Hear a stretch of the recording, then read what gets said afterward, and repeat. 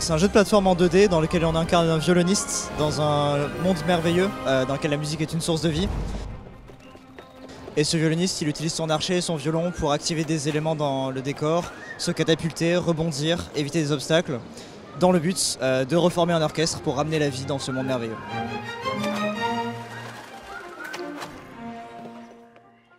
L'idée et comment elle a évolué Euh, L'idée en fait à la base c'est un, un pitch de gameplay. Euh, donc euh, le gameplay est venu avant et ensuite l'univers. Le gameplay en fait c'est l'idée c'était de pouvoir utiliser un outil pour se planter dans le- les murs et le sol et se catapulter dans un univers en 2D. Euh, l'univers en fait c'est venu après c'est qu'est-ce que ça pourrait être cet outil? Et en fait c'est devenu un archer de violon. À la base c'était une lance mais on voulait pas de combat, on trouvait pas ça très original. C'est devenu un archer de violon qui a amené le violoniste et qui a ensuite amené du coup l'univers merveilleux autour de la musique et tout ce qui va avec. Et justement, quel est ton rapport avec la musique, toi, personnellement Et le processus de composition et d'enregistrement, comment ça s'est passé? Euh, la musique c'est quelque chose que alors, tous les membres de l'équipe ont un rapport différent avec la musique, ils n'écoutent pas forcément les mêmes choses.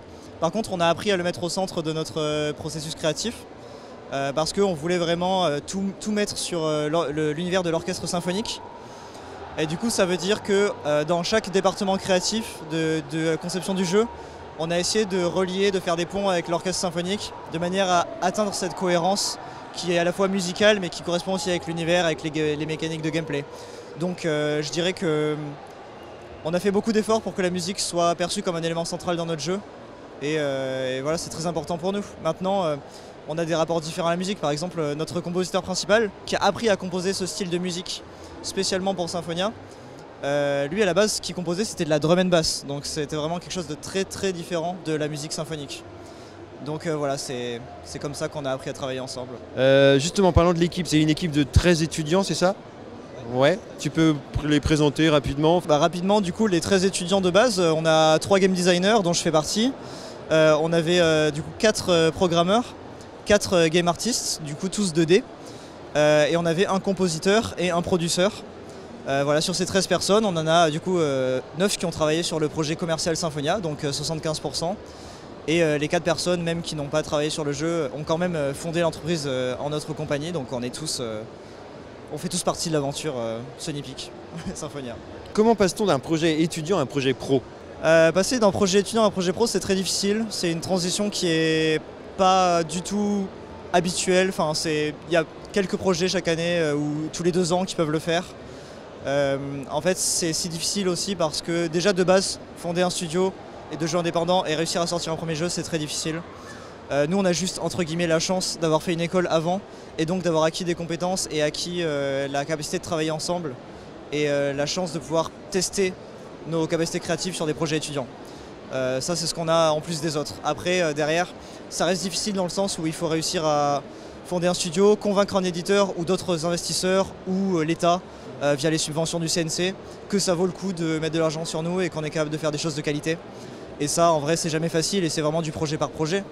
Euh, donc en plus de ça, il a fallu aussi apprendre d'autres choses, comme par exemple comment on gère un studio, comment on fait pour relationner avec d'autres entreprises, avec un comptable, comment on gère une structure en fait. Et donc tout ça, on ne nous l'apprend pas à l'école, il a fallu apprendre sur le tas. Donc c'est quelque chose qui est euh, plus ou moins facile suivant les personnes, suivant les profils. Euh, voilà. Moi, c'est quelque chose qui m'intéressait de base, donc euh, j'ai pris plaisir à le faire. Il y a quoi dans Symphonia qu'on ne verra jamais, que- qui a été écarté en fait euh, Et pourquoi ça a été écarté? Par exemple, Symphonia, c'est littéralement axé uniquement sur les musiques de l'orchestre symphonique. Donc on verra pas d'instruments qui ne font pas partie de l'orchestre symphonique. C'est vraiment certains instruments de manière spécifique. Euh, on nous a demandé aussi, ouais, Symphonia, vous pourriez faire du jazz, vous pourriez faire du rock, vous pourriez faire du métal. Très intéressant aussi. Mais c'est pas l'objectif de ce jeu en particulier. Ce jeu-là en particulier, il est vraiment axé autour de l'orchestre symphonique. Donc ça, on a aussi écarté. Après y avoir pensé et y avoir réellement réfléchi.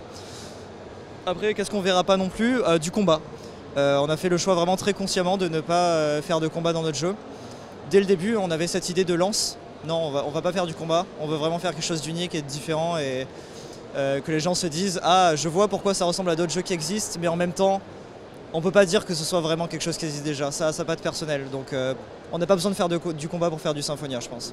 Est-ce qu'un mode coop a été envisagé à un moment ou à un autre du, euh, du jeu ou est-ce que c'est un, un- un univers typiquement avec un seul héros Il n'y a pas de mode coop qui a été envisagé. Maintenant, ça ne veut pas dire que c'est impossible de le faire, c'est juste que c'est pas quelque chose sur lequel on s'est penché. Il y a d'autres personnages dans le jeu et dans l'univers de Symphonia qui pourraient être intéressants à mettre plus en avant. actuellement, c'est beaucoup Philemon, le personnage principal, qui est central et que les gens vont, je pense, dont les gens vont se souvenir. Mais euh, dans l'aventure, il y a d'autres personnages que Philemon essaye de rassembler au sein d'un orchestre qui sont aussi importants pour nous, euh, qui sont aussi des musiciens et qui ont un peu leur moment de gloire dans le jeu. Donc euh, j'espère que les gens s'en souviendront aussi. Et puis je pense que c'est totalement possible de faire d'autres jeux qui sont centrés sur d'autres personnages de l'univers de Symphonia et raconter des histoires parallèles ou, différentes. C'est grave possible. Parler justement des influences, enfin des jeux qui ont, qui ont influencé Symphonia malgré eux ou pas? Euh, bah, côté game design, euh, il y a des, jeux qui nous ont influencés, par exemple euh, Celeste, Rayman, The End Disney aussi, de Edmund Macmillan. Après, côté visuel, il y a des, influences aussi pareilles de Rayman, de Ori, un petit peu Hollow Knight également. côté musical, c'est plus compliqué. Nos références musicales, elles viennent surtout de l'époque romantique de la musique classique. Euh, donc là, on va piocher dans les, contes symphoniques, les Camille Saint-Saëns, euh, les Rachmaninoff, euh, vraiment des, références entre guillemets de musique savante, comme on dit. donc voilà, c'est un peu plus unique à ce niveau-là. Maintenant, côté, côté artistique, on a aussi des références qui ne sont pas forcément des jeux vidéo, comme par exemple du coup l'art nouveau, l'art déco, tout ce qui va être aussi le style architectural baroque. On peut penser par exemple à l'Opéra Garnier de Paris également. Euh, des références qui sont liées aux scènes de théâtre, aux scènes d'opéra, vraiment euh, beaucoup, de, choses. La mécanique de précision aussi, donc l'horlogerie en particulier. Vraiment euh, des références qui sont un peu trans, transmédiatiques pour essayer de faire quelque chose à nous. À quoi joues-tu quand tu ne travaillais pas sur Symphonia Et qu'est-ce que tu recommanderais comme jeu en attendant de pouvoir jouer à Symphonia?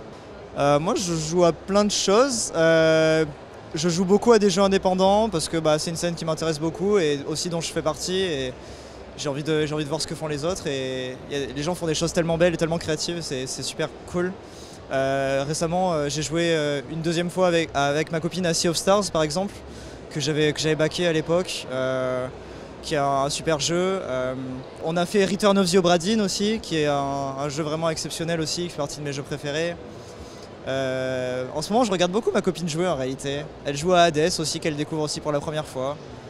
Euh, après moi personnellement mes jeux préférés ça va être euh, tout ce qui va être les jeux de Super Giant Games, donc euh, notamment Transistor et Pyre qui sont mes préférés des quatre. Shikori aussi, que j'avais également backé d'ailleurs sur Kickstarter, qui était au final beaucoup mieux encore que ce que j'espérais, donc super chouette. Voilà, plein de, plein de jeux. Céleste c'est mon jeu préféré aussi. quand le jeu va sortir, donne-nous les 3-4 mots-clés qui viendront à l'esprit des joueurs quand ils vont le lancer. Bah forcément ils vont penser à la musique, parce que c'est tellement central et je pense que les gens vont peut-être pas le conscientiser de cette manière-là, mais nous, ce qu'on a essayé de représenter, c'est une, espèce de conte musical en fait.